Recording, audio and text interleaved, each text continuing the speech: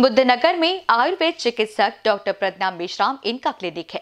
Doctor प्रज्ञा Covid मरीजों को काढ़ा दे रही है। उस काढ़े की काफ़ी चर्चा होने से लोग काढ़ा लेने उनके क्लिनिक जाते हैं। लेकिन उनका कहना है कि मनपा के एनटीपीएस पाठक के कर्मचारियों द्वारा बुरा व्यवहार किए जाने से डॉक्टर प्रज्ञा इन्होंने आहत होकर ओपीडी बंद की है और उनके द्वारा यह मांग भी की गई है कि जो कर्मचारियों ने बुरा व्यवहार किया है, उन्हें निलंबित करना चाहिए।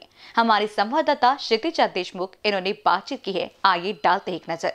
डॉक्टर मेशराम प्रज्ञा मेशराम जो है हम उनसे बातचीत करेंगे। आ, वो जो है कोविड पेशेंट के लिए दवाइयाँ बनाती है और उन्हें दवाइयाँ देती है। और बहुत से पेशेंट लोगों का कहना है कि उनकी दवाइयों से बहुत ज़्यादा फ़र्क जो है कोरोना पेशेंट को मतलब आराम महसूस हुआ है। लेकिन मनपा द्वारा जो है इनके यहाँ आकर एक नोटिस लगाया गया है कि इन्हें ओपीडी जो है बंद रखनी पड़ेगी। आ, जानते हैं उन्हीं से कि क्या पूरा मामला है?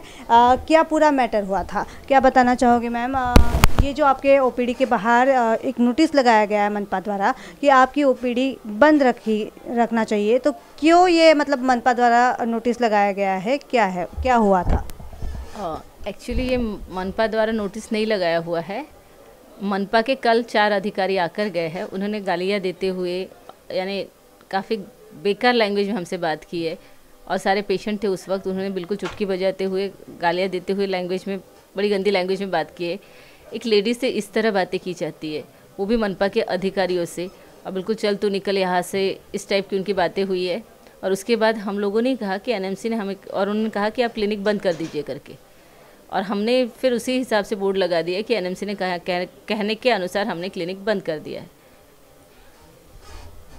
तो पूरा मामला ऐसा है कि मनपा के कुछ कर्मचारी आते हैं और गाली गलोच करके जो है डॉक्टर्स को ओपीडी जो है बंद करने को कहते हैं, जिसके बाद आहत होकर खुद प्रज्ञा मैडम जो है डॉक्टर, इन्होंने अपने ओपीडी के बाहर एक नोटिस लगा दिया है कि मनपा द्वारा ओपीडी बंद रखने को कहा गया है।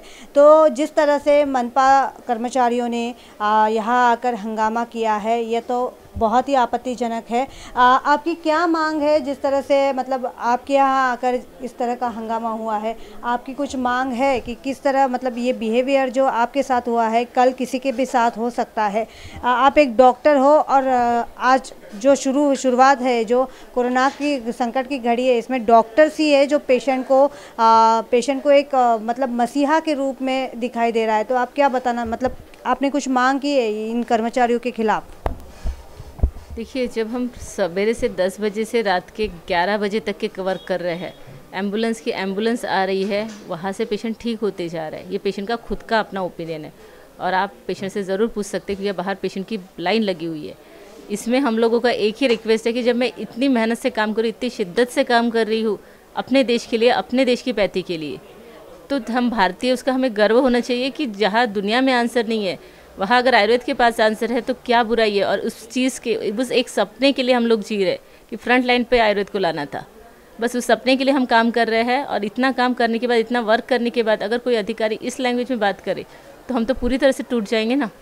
उस कारण हम चाहते हैं कि उन चारों का निलंबन हो। तब जाकर वो किसी स्त्री से किस तरह बातें की जाती ये उनकी समझ में आनी चाहिए कि इस तरह की बातें नहीं होती है। आप स्त्रियों का रिस्पेक्ट करना चाहिए। आप लोगों ने इस तरह की बातें नहीं करना चाहिए।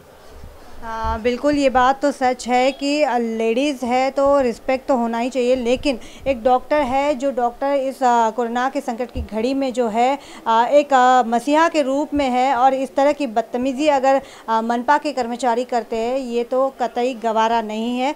आ, जैसे कि डॉक्टर ने मांग की है कि उन्हें बर्खास्त करना चाहिए निलंबित करना चाहिए ये मांग भी उनकी जायज़ है। तो अब देखना होगा कि मनपा द्वारा क्या एक्शन लिया जाता है। कैमरा पर्सन माइकल रामपुरे के साथ मैं Kshitija Deshmukh B C news Nagpur.